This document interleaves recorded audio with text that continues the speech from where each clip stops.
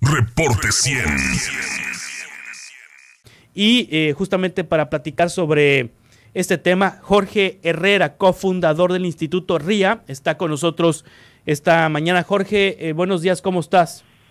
Buenos días, muchas gracias por la invitación, muy bien, gracias. ¿Esto qué implica esta decisión que tomó la Suprema Corte de Justicia de la Nación si eh, una persona que consuma marihuana esta noche, por ejemplo, o esta tarde o este día es detenida por la policía y trae eh, 10 gramos, 10 gramos de marihuana, eh, no, ¿no debe ser detenido, no debe ser procesado? Eh, bueno, es un retroceso el tema de la Corte, por supuesto, la decisión que tomaron eh, respecto a ese caso en específico, pues es incongruente sobre otros temas que, que ya ha resuelto la Corte, específicamente pues el derecho a consumir eh, como parte del derecho al libre desarrollo de la personalidad y todo lo que ha dado eh, apertura a eh, tener la posibilidad de tener plantas o cultivar en, en, en, nuestras casas y que pues ahí todavía COFEPRIS tiene una deuda de decidir pues cómo es que podemos realmente ejercer ese derecho. Entonces por eso surgen estas eh, confusiones o problemas en los que pues tenemos también que decidir qué otras actividades eh, deberían de estar eh, contempladas bajo el derecho al libre desarrollo de la personalidad, como es el tema de la aportación, la posesión eh, de la planta, de eh, algunas cantidades para poder consumir para uso personal, ¿no? Sí. Eh, pero el tema de la decisión de la Corte pues únicamente tiene eh, un impacto en, en, en, la, en el caso que se discutió, que fue de Edgar N., una persona que fue acusada eh, por narcomenudeo, eh, y que lo que pretendía el proyecto de la Corte que fue aprobado eh, era que fueran los jueces locales, los ministerios públicos, los que estuvieran eh, encargados de evaluar si una persona es consumidora o una persona es narcomenudista eh, por otros estándares que no necesariamente es la tabla de portación máxima que está en la Ley General de Salud, que establece que arriba de 5 gramos eh, es considerado, eh, la aportación de, de, cannabis por arriba de 5 gramos es considerado narcomenudeo. Sí. Entonces, pues sí, si bien se, se establece que es inconstitucional el eh, eh, penar o el sancionar a una persona que porte por arriba de, de 5 gramos cuando es por para consumo personal, también se deja discrecionalidad de jueces, o sea, que sean eh, quienes están eh, a cargo de eh, investigar o de probar que una persona está eh, portando cannabis para consumo o para comercialización. Y pues en el sistema de, de justicia actual pues sabemos que eh, hay eh, eh, se pueden realizar este tipo de detenciones o este tipo de eh, sanciones únicamente por cómo se ven las personas, por cómo se visten, ¿no? Por cómo eh, eh, actúan y no necesariamente pues por eh, estándares como que se estaba probando que una persona estaba comercializando, sí. que hay, había un, un delito, un crimen que tiene una víctima, que tiene violencia, que no es el caso de los delitos de narcomenudeo, ¿no? Donde sabemos que pues no es eh, eh, esos no son los, los, los delitos que queremos estar persiguiendo, ¿no? De personas que están en situación de marginación, de personas que a lo mejor estaban portando eh, algunas cantidades por encima de las permitidas en, en la tabla de orientación de la Ley General de Salud, pero que pues eh, pues se debería estar pues, protegiendo su derecho al, al libre desarrollo. Sí, Jorge, eh, recuérdanos cuál es el estatus legal de la marihuana en México en este momento. ¿En qué, en, qué, ¿En qué es lo legal, qué es lo ilegal, qué es lo que está pendiente en el Congreso, qué es lo que está pendiente en el gobierno federal? ¿Cuál es el estatus de la marihuana en México? Pues seguimos esperando a que el Congreso regule, eso es una decisión que tendrá que tomar el Poder Legislativo y el Poder Judicial ya se ha pronunciado al, respecto a este tema en otras ocasiones, estableciendo que el derecho al autocultivo, a tener eh, eh, plantas en nuestras casas eh, y que otros eh, ordenamientos, otros eh, poderes como el Poder Ejecutivo o el Poder Legislativo podrán decidir el número de plantas o pues, cuestiones más específicas. Eh, pero en, en, respecto a la aportación, pues únicamente se puede portar hasta 5 gramos de cannabis todavía.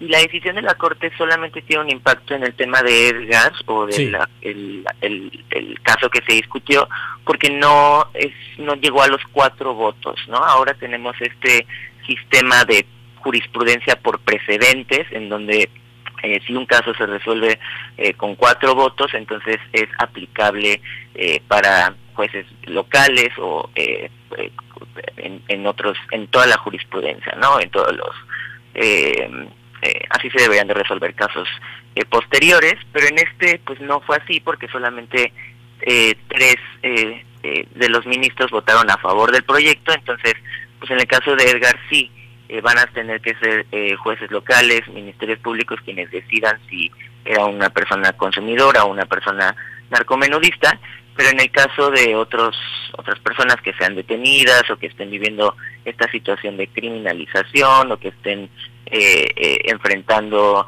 eh, conflictos con la ley por poseer o portar cannabis, pues sí se guiarán por como está en la tabla de la Ley General de Salud y si se, se, encuentra una persona con más de 5 gramos, todavía se puede criminalizar o se le puede sancionar, ¿no? Y puede ser acreedor a estas penas y es lo que tendría que cambiar por parte en, la ley o al menos eh, es lo que tendría que reconocer la Suprema Corte de que esto pues es una medida desproporcionada que está afectando a personas usuarias que está promoviendo el tema de estigmas discriminación eh, y lo que debería de suceder es que se tiene que declarar inconstitucional el delito de posesión simple justamente porque ya se ha declarado que el consumo de cannabis es parte del derecho al libre desarrollo de la personalidad. Entonces, cómo es que se puede proteger un derecho, pero al mismo tiempo sancionar actividades que van relacionadas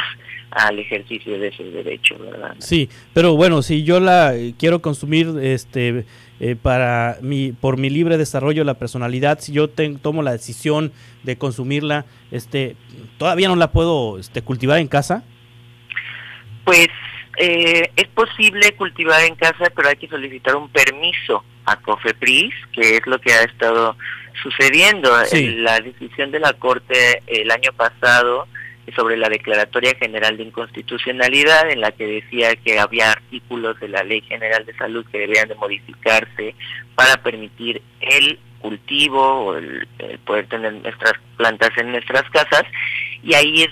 Eh, se comisiona a COFEPRIS o se eh, responsabiliza a esa institución para que eh, diga cómo es que se puede ejercer ese derecho al autocultivo cuáles son los criterios que se deben de tomar para poder tener nuestras plantas, ¿no? Y es, ahí también eh, el, el, debate de si pues tendremos que estar solicitando una licencia, un permiso al, al gobierno, eh, diciendo cuál es el domicilio donde vamos a estar eh, ejerciendo este derecho. Sí. Pues esas, esas, esa normatividad la tendrá que eh, establecer pues el poder legislativo o el poder ejecutivo en este caso mediante. La realidad es que se sigue consumiendo marihuana manchada de sangre, Jorge.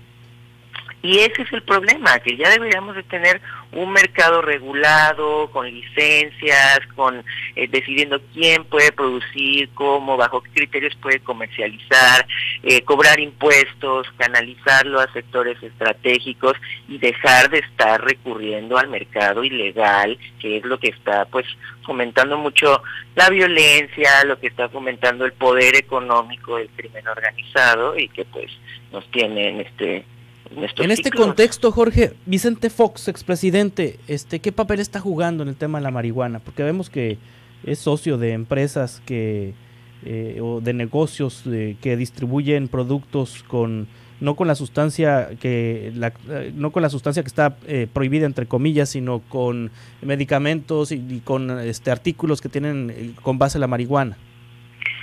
Así es, pues eh, Vicente Fox es parte de del consejo de una empresa que se llama Chiron, que es de cannabis medicinal eh, o productos eh, eh para eh, estética, belleza, higiene personal que contengan cannabis o cáñamo, que es esta otra variedad de la planta que no necesariamente tiene tanto THC, que es la sustancia que eh, tienen pues más eh, impacto psicoactivo, ¿no? Entonces pues muchos de estos productos justo tienen todas las propiedades medicinales, terapéuticas y que pues también deberían de estar ya eh, en un mercado regulado y eso es una decisión que el Poder Legislativo tomó desde hace mucho tiempo, en 2017, 2018, de pues sí, permitir la comercialización de estos productos justamente por su valor medicinal y terapéutico.